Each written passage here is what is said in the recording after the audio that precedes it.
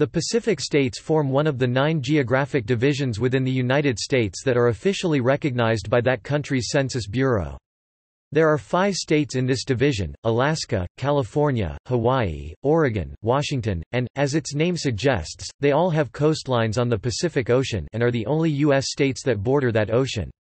The Pacific States Division is one of two divisions can be found within the United States Census Bureau's Western region, the other Western Division is the Mountain States.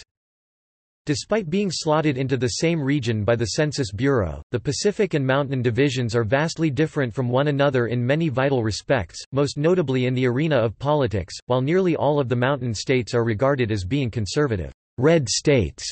Four out of five of the Pacific states all except Alaska are clearly counted among the liberal blue states.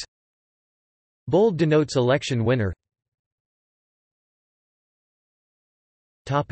Territories. Although not states, the three inhabited Pacific U.S. territories American Samoa, Guam and the Northern Mariana Islands and the Pacific U.S. minor outlying islands excluding Navassa Island are sometimes grouped with Pacific states in statistics.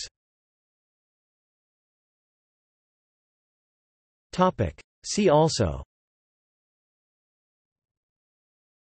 West Coast of the United States History of the West Coast of North America References. Pacific Division Labor Statistics Bureau of Labor Statistics